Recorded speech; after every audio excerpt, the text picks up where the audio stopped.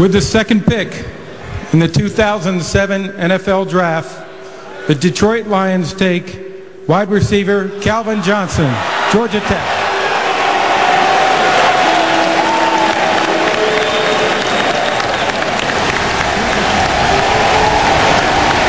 Calvin Johnson, six foot five, with speed of 4.38. Now I know those are numbers, but those are not usually in numbers that you put together with a receiver at six foot five. So there's Calvin in the green room, and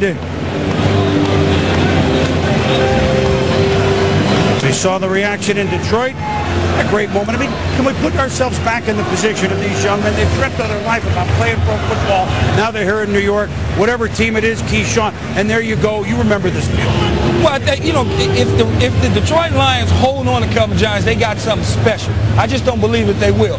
You can't get a guy like this. He's better than any other receivers that they have right now.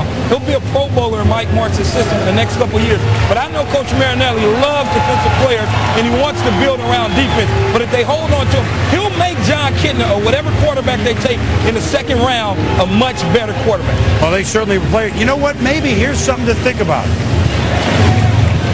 As the photo op, maybe they're going to line up all wide receivers. Try it. Be some good razzle-dazzle play. Boise State did it. Well, the question, question, you have to ask yourself here, if you're a Detroit Lion fan or anybody listening out there, and you're talking about a guy watching that why not a quarterback? Why not Brady Quinn here? When this whole thing unfolded, we knew Oakland was picking one and we knew Detroit was picking two. I said, oh, Russell's perfect for Oakland and Brady Quinn's perfect for the Detroit Lions and Mike Martz.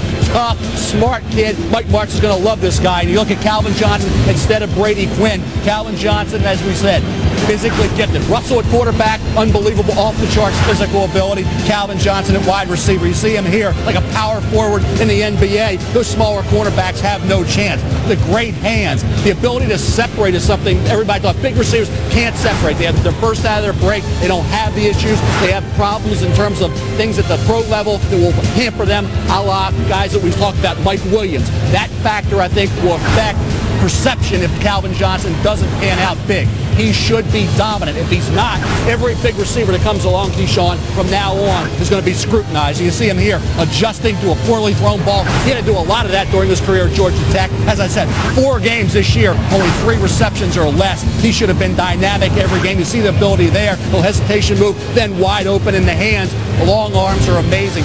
Cornerbacks 5'9", 5'10", 5'11". Should have no chance against Calvin Johnson, Steve. For a moment, throw away the whole physical prowess that he has. I'm just talking about his character. I talked to an offensive coordinator that interviewed him in the pre-draft time, and he said that he pushed him on why you didn't catch more balls over the across the field. Why didn't you come across the field more? And he pushed him on why, in a, instead of kind of selling out his, his quarterback, Reggie Ball, who had trouble seeing over linemen and throwing those balls, he never did. He kept saying, "Look, I, you know, I, I, I played what I got. I took the the passes that I got. I never went against it, and he never sold out anybody. He was just he got pushed on it, and the, and the coach was actually looking to see if he would sell out one of his teammates, and he never did. This kid, you got to put it in perspective.